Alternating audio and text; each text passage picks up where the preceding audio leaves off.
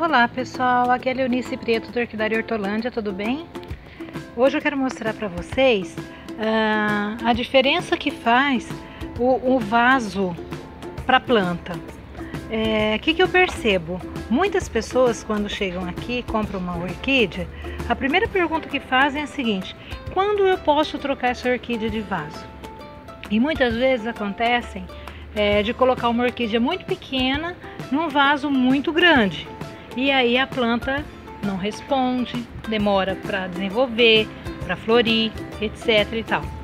Então, a orquídea ela precisa de espaços pequenos. Então, o que, que ela precisa? Na realidade, de um espaço onde ela faça o, o, um enraizamento que dê segurança para ela. Olha, o vaso nem tá parando aqui, tá? De tão pesado que tá. Então, olha o tamanho do vaso, é o pote 11, um vaso super pequeno, onde nós colocamos a planta desde pequena, olha. Ela foi crescendo aqui, deixamos, eu fiz, eu fiz isso realmente para mostrar que não é o vaso que faz a orquídea ficar maior, mais bonita ou com mais florações. A orquídea na natureza, ela só precisa do que? De um espaço para que ela possa se prender, se agarrar.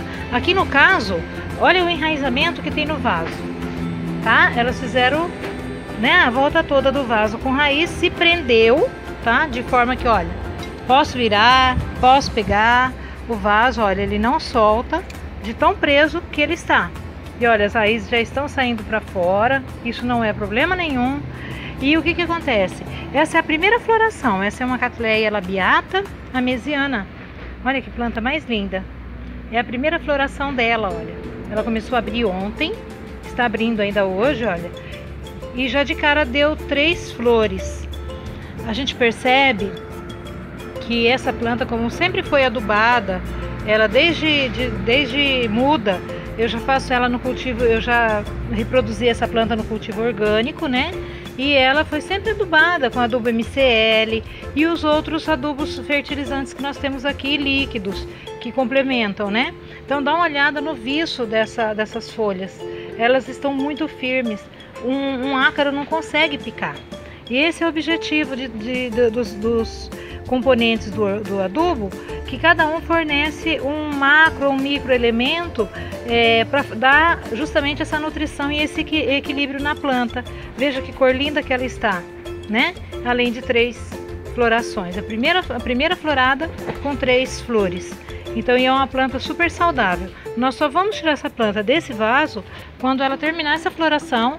Aí nós vamos passar para o vaso que seria o pote 15 ou um vaso de barro, né? Esse tamanho aqui. Olha, que é o que vai ajustar, sempre colocando a parte traseira encostadinha lá atrás, para que ela possa continuar o crescimento dela para frente, ó. Olha que coisa mais linda, né? E isso está acontecendo com essas outras aqui também, olha. Vai, pote 11. Olha como que essa planta tá linda. Du duas frentes, dois brotos grandes, que com certeza esses brotos já vão florir. E essa outra também, olha, dois brotos grandes aqui, um aqui, tá? E um outro aqui.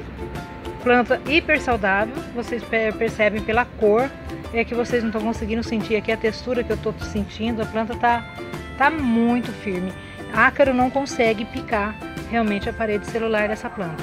Então é isso que eu queria mostrar para vocês. Então não adianta comprar uma planta é, pequena e colocar num vaso muito grande. Ela vai ter um gasto energético muito grande para estar tá fazendo esse enraizamento todo que vocês viram ali. E vai demorar mais tempo para produzir brotos e consequentemente floração. Tá? Essa planta não, não foi necessário o uso de, de nenhum produto para que ela viesse a florescer porque como ela foi desenvolvida, ela foi é, adubada desde pequena com um adubo equilibrado, ela por si só soltou a floração, olha, tá? E vieram três flores lindas, que é o que ocorre na natureza. Na natureza ninguém vai lá adubar. Tudo aquilo que elas pegam orgânico do, do, do vento, da chuva, ela transforma isso em alimento e a floração vem naturalmente. E foi o que aconteceu com essa planta. Lindo, né? Então valeu a dica. Um beijo a todos e obrigada. Curte o nosso canal no YouTube, Orquidária Hortolândia, tá? Beijos!